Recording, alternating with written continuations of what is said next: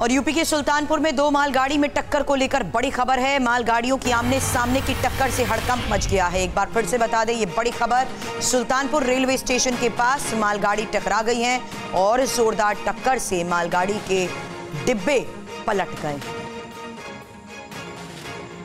तस्वीरें भी आपके सामने। देखिए किस तरीके से यहाँ सुल्तानपुर रेलवे स्टेशन के एक पास की ये घटना सामने आई है। मालगाड़ियों की आमने सामने की ये टक्कर, दो मालगाड़ियों की टक्कर के बाद हड़कंप मच गया।